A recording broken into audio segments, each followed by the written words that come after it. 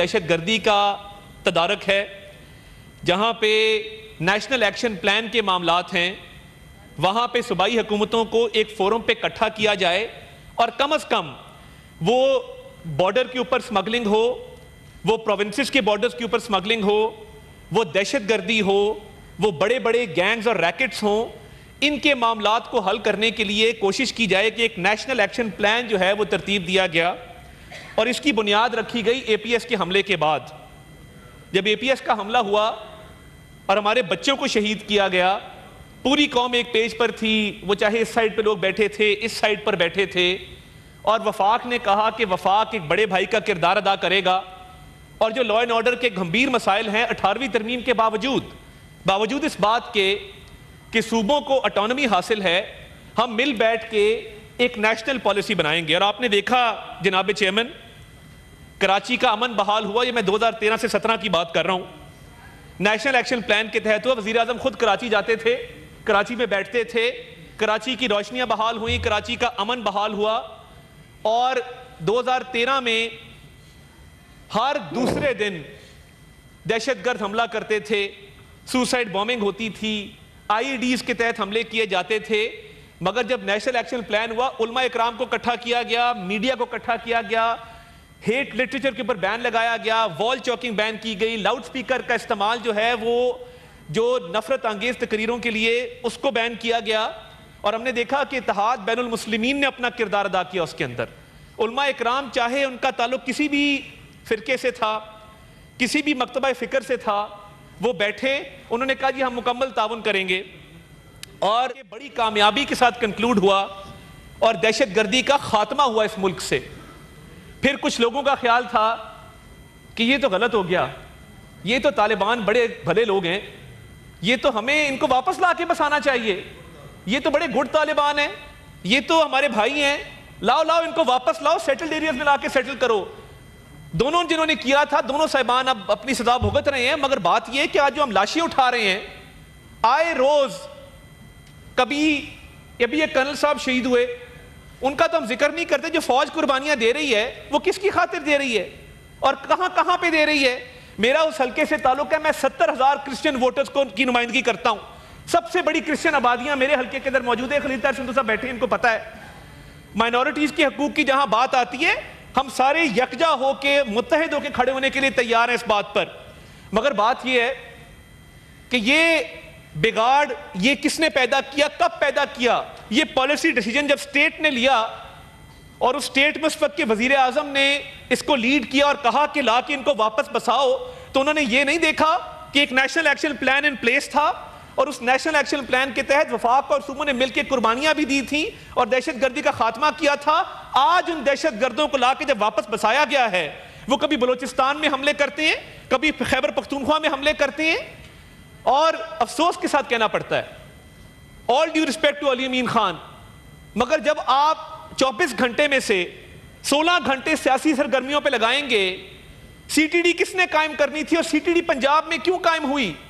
Forensic lab Punjab में क्यों कायम हुआ? लाहौर के अंदर, इस्लामाबाद के अंदर सेफ़ सिटी क्यों बनाई गई? हमारा कोयटा, हमारा पिशावर आज सेफ़ सिटी से क्यों महरूम रहा? किसी सूबाई हुकूमत ने इस पर तवज्जो क्यों नहीं दी कि सेफ़ सिटी लगना चाहिए? आज सेफ़ सिटी लगा होता, लाहौर में एक दहशतगर्द ने हमला किया। हमारे सीनियर पुलिस ऑफिसर सीटीओ थे, हमारे दोस्त थे। कैप्टन मुबीन शहीद हुए, कोयटा में पोस्टेड रहे, बहुत सारी सर्विस कोयटा में की। हमने उनकी भी लाश उठाई, उनका भी जनाजा पड़ा। सेफ़ सिटी कैमरास की मदद से हमने बैक ट्रैक किया। हम उन अफगान बशिंदों तक पहुँचे जिन्होंने उसकी सारी प्लानिंग की थी। उनको सजा दिलवाई। जैनब का मामला होता है कसूर के अंदर। फोरेंसिक लैब दो किलोमीटर के रेडियस के अंदर तमाम टेस्टिंग करती है। जैनब वाले केस के मुलजिम को फांसी हुई इस मुल्क के अंदर। तो ये सूबाई हुकूमतों की कैपेसिटी बिल्ड करना, क्या हमारी तमाम पार्टियाँ जो यहाँ मौजूद हैं, उनके नुमाइंदों का फ़र्ज़ नहीं है? क्या उनके अपने अपने चीफ मिनिस्टर का फ़र्ज़ नहीं है? क्या वफाक 2013 से 17 कुर्बानी भी दे दहशत गर्दी का खात्मा भी करे, और मुल्क के अंदर अमन कायम भी करे और उसके बाद एक शख्स आए और कहे, नहीं, good, Taliban come back welcome back और उनको लाके बसा दे, आज जो जनूबी खैबर पख्तूनख्वा में हो रहा है, उसका जिम्मेदार कौन है? तो मैं मुख्तसर ये गुजारिश करना चाहूँगा कि देखिए, ये बड़े गंभीर इश्यूज़ हैं। दुखी का वाक्य इंतहाई अफसोसनाक है। मजदूर थे, कानकुन थे, बेगुनाह थे, बेकसूर थे।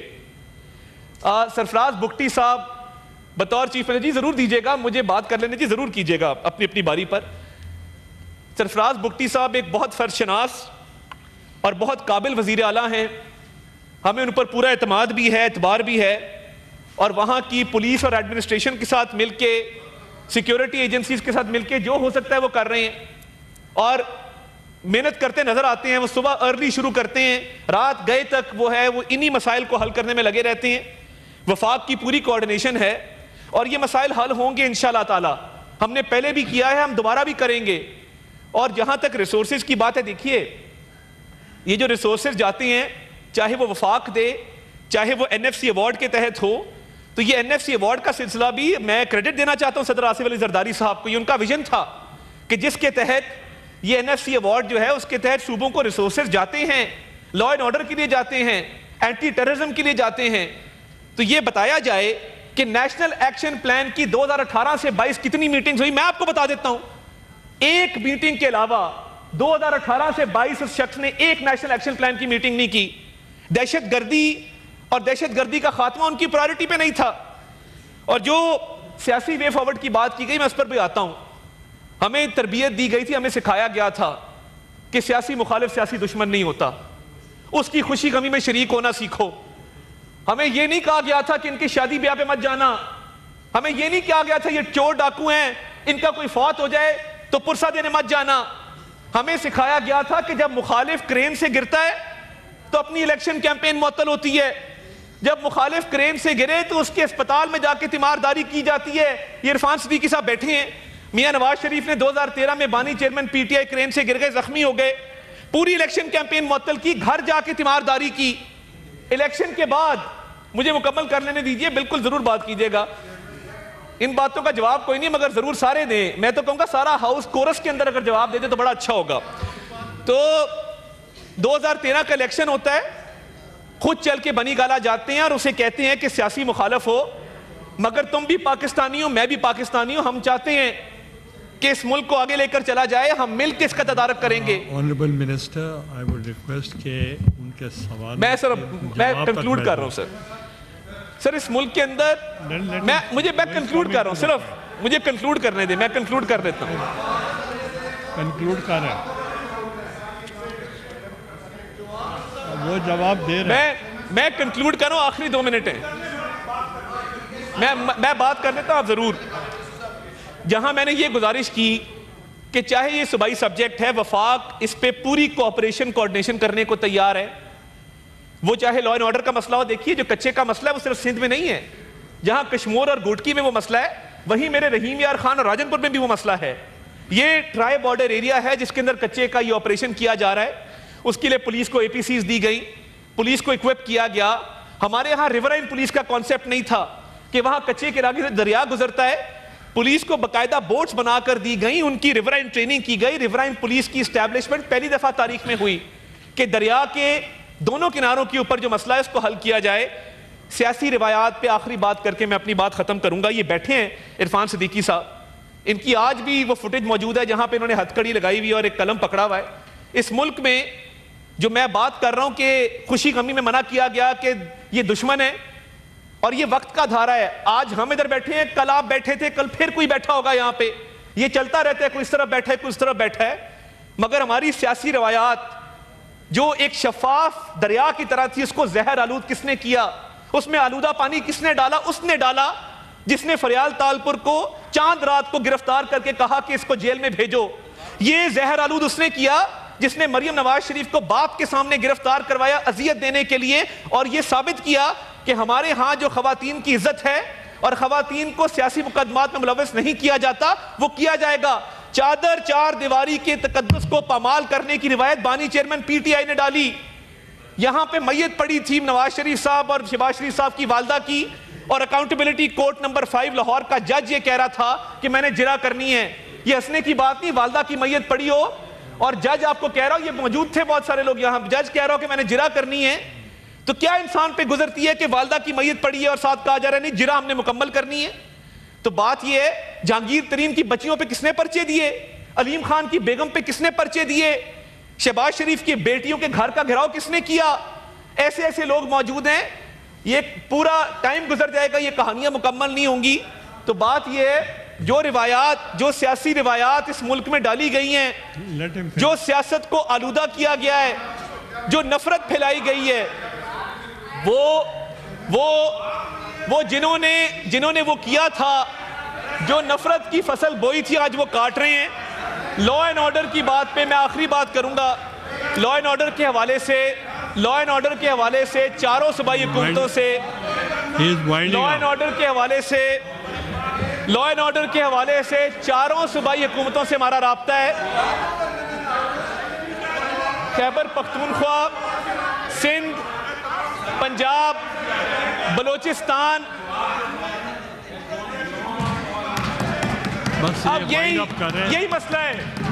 यही मसला है कि सच सुनने की किसी में हिम्मत नहीं है। बात यह है कि मैं अपनी मर्ज़ी की बात नहीं कर सकता इस ऐवान के अंदर भी ये ये ये फस्ताइत है इनकी।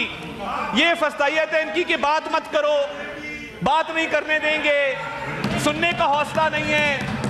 तो कम अज कम मैं मुकम्मल कर रहा हूँ। एक मिनट में मुकम्मल कर लूँगा अगर आप तशरीफ़ रखें। मैं एक मिनट में मुकम्मल कर लूँगा। मैं मुकम्मल कर रहा हूँ। मैं कंक्लूड कर रहा हूँ एक मिनट के अंदर अगर आप तशरीफ़ रखें। सुन लें। सुनने का हौसला रखें ये जमहूरियत है। इसमें सुनना भी पड़ता है। एक मिनट में मैं मुकम्मल कर एक मिनट में मैं मुकम्मल कर रहा हूँ। सुन ले। सुन ले। सर आँखों में मुझे मेरी बात तो सुन ले। मैं मुकम्मल कर रहा हूँ। सर लॉ एंड ऑर्डर के हवाले से लॉ एंड ऑर्डर के हवाले से सर, हमारा हमारा चारों वजरा आला से रबता है। और वो चाहे वो चाहे, मैं मैं मुकम्मल कर रहा हूँ। मैं मुकम्मल कर रहा हूँ, मुझे बात तो कर लेने दें। मैं मैं ये वजूहत बयान करना मेरे फ़राइज में शामिल है। मैं मैं तमाम तर जो लॉ एंड ऑर्डर की सिचुएशन है जो सियासी सिचुएशन है उसमें उसमें मेरा फ़र्ज़ है कि मैं हकायक बयान करूँ। आप मुझे मुकम्मल करने दें मैं मुकम्मल कर रहा हूँ बस। मैं मुकम्मल कर रहा हूँ मुकम्मल कर रहा हूँ मुकम्मल कर रहा हूँ सुन ले सुन मिनिस्टर ले। साहब मिनिस्टर साहब मैं सर मुकम्मल कर रहा हूँ एक मिनट के आप अंदर। कंक्लूड करें आप कंक्लूड करें। ठीक है मैं मुकम्मल कर रहा हूँ मुझे मुकम्मल तो कर लेने दे। प्लीज़ आप कंक्लूड करें। नहीं नहीं मैं मुकम्मल कर रहा हूँ देखिए।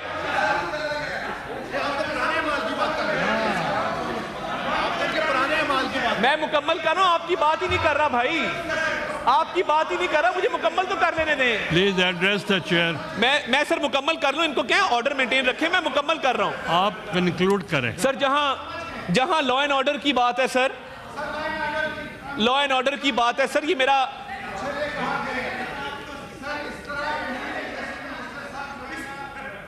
सर ये मेरा फ़र्ज़ बनता है कि मैं प्लीज़ मैं मुकम्मल कर रहा हूँ भाई मुझे पता है आप मुझे पता है आपका मुझे मुकम्मल कर लेने दें। प्लीज़ प्लीज़ ठीक है मैं मुकम्मल तो कर लूँ। प्लीज़ एड्रेस द चेयर एक मिनट में वो मुकम्मल कर सर मैं देखिए सर जो वजूहत हैं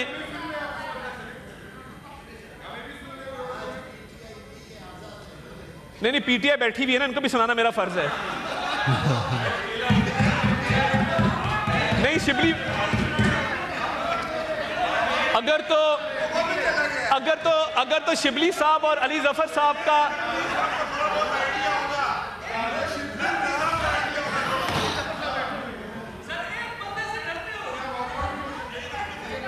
आप मैं सर कंक्लूड कर रहा हूँ बस आखिरी बात है।